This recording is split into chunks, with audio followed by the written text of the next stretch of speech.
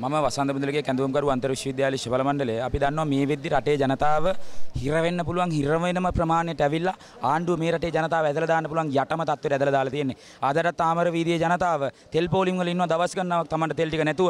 ඒ වගේ මෙතනින් එහාට ගිහලා තුන් වේල කණ්ඩ විදියක් නැතුව රටේ ජනතාවද මැරෙනවද නැවත ජීවත් වෙනවද කියන තත්ත්වයට මේ රටේ ජනතාව ඇදලා දාලා තියෙනවා. එතනින් එහාට ගිහලා ගෑස් පෝලිම් වල දවස් ගණන් ඉඳලා ගෑස් නැතිවලා තියෙනවා. හැබැයි ආණ්ඩුව අපිට කියනවා පටි තද කරගෙන ඉන්න කියලා. ඒතකොට මේ රටේ ජනතාවට කණ්ඩ විදියක් නැහැ. ඒ වගේම රැකියාවට යන්න අවස්ථාවක් නැහැ. ගිහිල්ලා එහෙම ගත්තට පස්සේ තුන් වේල කාලා ජීවත් වෙන්න පුළුවන් වටපිටාවක් නැහැ. ඒ නිසා තමයි රටේ ජනතාව මහපාට බහැලා කිව්වේ ගෝඨාභය රාජපක්ෂට ගෙදර ගිහිල්ලා රටේ ජනතාවට තීරණ ගන්න දාලා අවකාශය හදලා මේ ප්‍රශ්න විසඳ ගන්න දෙන්න කියලා. හැබැයි ගෝඨාභය රාජපක්ෂ ජනතාවගේ මතයට කන් දෙන්නේ නැතුව අරන් ආව සැලසුම තමයි පහුගිය කාලේ අවස්ථා පහක් අගමැති වෙලා ඒත් මේ රට කරන්න බැරි වුණු මහ බැංකු කොල්ල කන වෙලාවේ මහා මුලකරු විදියට හිටපු. ඒ වගේ මෙතනින් හරිය ගිහලා පාස්කු ප්‍රහාරයේ වෙලාවේ රටේ අගමැති විදියට හිටමු රනිල් වික්‍රමසිංහ ඉස්සරහට ගෙනලා ගෝඨාභය රාජපක්ෂගේ දේශපාලනය ආරක්ෂා කරගන්න කරා ඒ වගේ මේක ආරක්ෂා කරන්න නම වෙනිදා අපිට ඇවිල්ලා පහර දුන්නු මැරයව අත්අඩංගුවට ගන්නවා වෙනුවට දේශබන්දුල අත්අඩංගුවට ගන්නවා වෙනුවට එතනින් හරිය ජොන්ස්ටන් ප්‍රනාන්දුලා මහින්ද රාජපක්ෂලා කමල් ගුණරත්න අත්අඩංගුවට ගන්නවා වෙනුවට. දැන් මොකද කරලා තියෙන්නේ රටේ තරුණයෝ අත්අඩංගුවට ගන්න තැනට ගිහිලා තියෙනවා දේශබන්දුව පොලිසියට ගෙනල්ලා CID කරගෙන ගෙනල්ලා පැය දෙකක්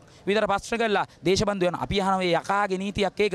ඒ නිසා මෙන්න මේ ප්‍රශ්න ඔක්කොටම අපි ආවා. රටේ අම්මා තාත්තට ප්‍රශ්නයක් වෙලාවේ අපි ආවා පාරට ගෝඨාභයට ගෙදර යන්න. ගෝඨාභය රනිල් හවුල් ආණ්ඩුවට කුමන්ත්‍රණ දීලා ආණ්ඩුවට ගෙදර යන්න කියලා රටේ ජනතාවගේ ආර්ථික ප්‍රශ්න විසඳන්න කියලා. ඒ වගේම මහාම නවවෙනිදා ප්‍රහාරයෙන් මහා පුලකරු හිටපු තක්කඩි ටික හොරු මිනිමරු ටික අත්අඩංගුවට ගන්න කියලා. හැබැයි ඒ සියල්ලට බල කරන්න අද දවසේදී අපි පාගමනාවට පස්සේ අදත් අදත් දේශබන්දුලාගේ ඕඩර් එකට කමල් ගුණරත්නලාගේ ඕඩර් එකට ගෝඨාභය රාජපක්ෂලාගේ ඕඩර් එකට අපිට ඔලු පැලෙනකල් ගැහුවා.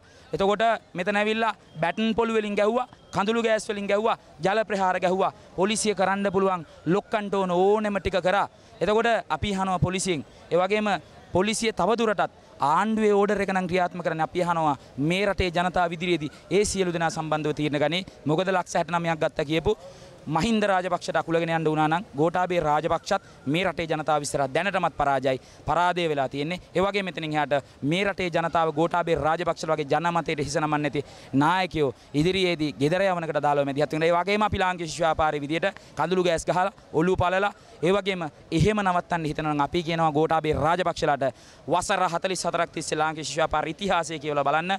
වෙඩි තියද්දී මරලා දාද්දී ජයග්‍රහණය දක්වා සටන් අරගෙන ව්‍යාපාරයක් අපි එනිසා මේ අරගලය මේ රටේ ජනතාවත් එක්ක ජයග්‍රහණ දිශානතිට අරගෙන යාම සඳහා වූ මැදිහත් වීම අපි කරනවා. ඒ වගේම මේ පහර දීම් වලට එරෙහිව ඒ වගේම මේ සියල්ලට හිර ගෝඨාභය රාජපක්ෂගේ ආණ්ඩුවට විරුද්ධව ගෝඨාභය ගෙදර යවීමට අදාළව අපි මේ රටේ සියලු ජනතාවත් එක්ක හෙට දවසේදී නැවත අරගල ක්‍රියාමාර්ග තෝරනවා. අපි ගෝඨාභයට කියනවා තව ජල ටැංකි ගෙනත් ගන්න තව කඳුළු ගෑස් ගෙනත් ගන්න බංකරේ තව තද කරගන්න පරිස්සමින් ඉන්න මහත්වෝ කියලා අපි ගෝඨාභය රාජපක්ෂට කියනවා මේ රටේ ජනතාව තරුණයෝ ශිෂ්‍යයෝ කලාකරුවෝ සියලු කොටස් එක්ක අපි නැවත වටේදී එනවා.